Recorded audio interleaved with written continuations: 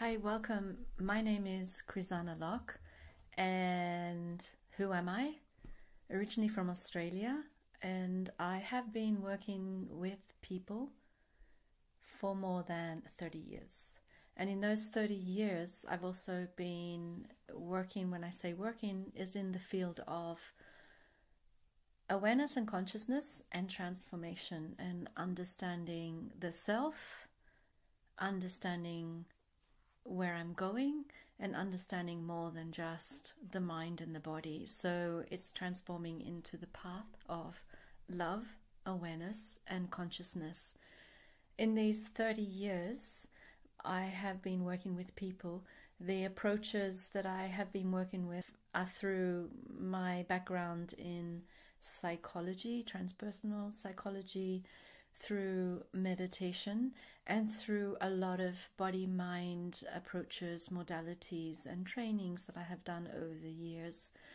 This um, approach and this love and this passion to work with people after many initial years of working on myself, and I'm continuing working, aligning myself for my own evolution and reminding myself to bring in awareness as much as possible into my daily life and my daily living.